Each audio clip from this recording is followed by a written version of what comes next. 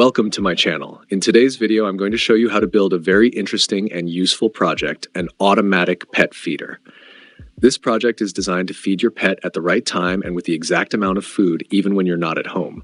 It uses a load cell to measure the food weight, a real-time clock, RTC module to schedule feeding time, and a stepper motor with an A4988 driver to control the dispenser mechanism accurately. We've also added a 16 by 2 LCD display to show the live weight, food level, and settings clearly. This is a perfect automation project for pet owners, and it's also a great practical example of combining electronics, sensors, and motor control. In this full tutorial, I'll walk you through all the steps, from components and wiring to the complete working code and final demonstration. So stay tuned till the end of the video, and and if you're new to the channel, don't forget to subscribe for more electronics and Arduino-based projects. Let's get started. In this project, we are using several components to build a fully functional automatic pet feeder. The brain of the system is an Arduino Nano, which controls all the other modules. To display live information like weight, time, and menu settings, we are using a 16 by 4 I2C LCD display. The LCD is connected to the Nano using the I2C lines. SDA A4 and SCL to A5. To measure the weight of the food in real time, we are using an HX711 load cell module. The load cell is connected to the HX711, and the HX711 output pins are connected to the Arduino Nano, DOUT to pin 11 and CLK to pin 10. For scheduled feeding, we are using an RTC DS1307 real-time clock module, which keeps track of the current time even if the power goes off. The RTC is also connected via I2C to the same A4 and A5 lines of the Arduino. To dispense food, we've used a NEMA 17 stepper motor controlled through an A4988 stepper motor driver. The step pin of the driver is connected to pin D6, and the DIR pin is connected to D7. The motor gets its power supply externally and ground is shared with the Arduino.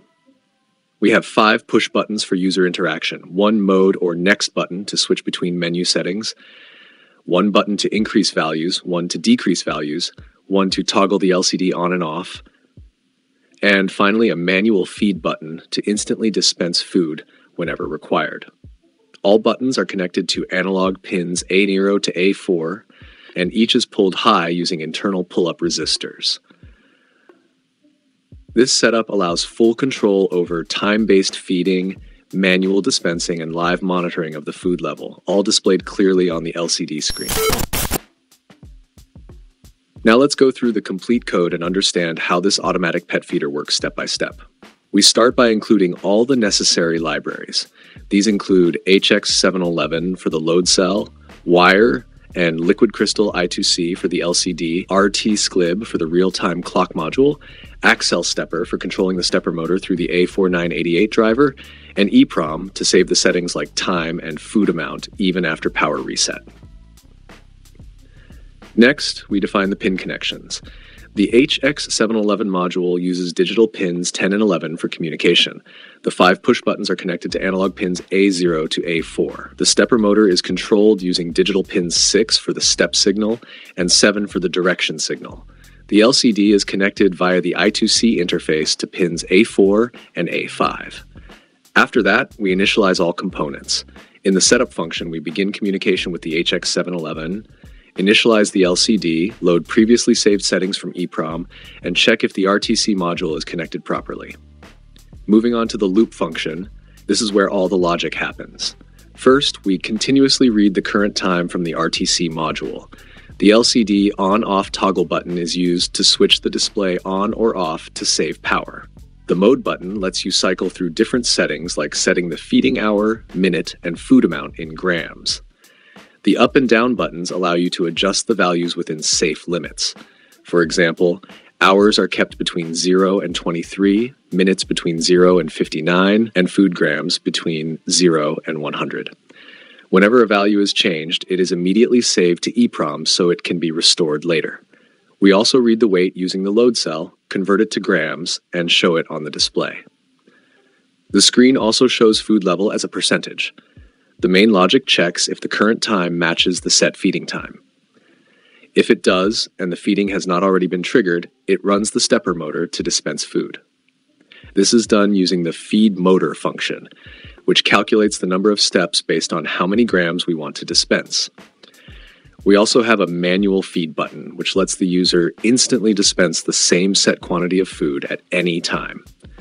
When this button is pressed, a message is shown on the display, and the motor runs just like a scheduled feed. Finally, the LCD is continuously updated to show real time data such as weight, current time, and settings, depending on the selected mode. This code brings together all components to work seamlessly and ensures that your pet gets fed automatically and accurately every day. Now let's see how the automatic pet feeder works in real time. When the system powers on, the LCD display lights up and shows the current weight in grams, the food level as a percentage, and the real time clock at the bottoms. If there's no food on the load cell, it will prompt a message saying, please refill, or below 500 grams, depending on the current weight. You can press the Mode button to enter the settings menu. The first option allows you to set the hour at which the feeding should happen. Press the up or down buttons to increase or decrease the hour value. Press Mode again to move to the minute setting and adjust it similarly. The next screen lets you set the food quantity in grams that should be dispensed at the set time. Once done, press Mode again to return to the main display. Now, when the real time clock matches the feeding time you've set, the feeder will automatically trigger. A message will appear saying that food is being dispensed, and the stepper motor will rotate through the A4988 driver to release the exact number of grams of food. Once completed, the display returns to normal and prevents repeated feeding within the same minute. You can also press the manual feed button at any time. This will immediately activate the motor and dispense the same quantity of food as per the current setting. A message will be shown on the screen indicating that manual feeding is in progress. This setup ensures that your pet gets the right amount of food at the right time automatically, and you still have full control if you ever want to feed them manually.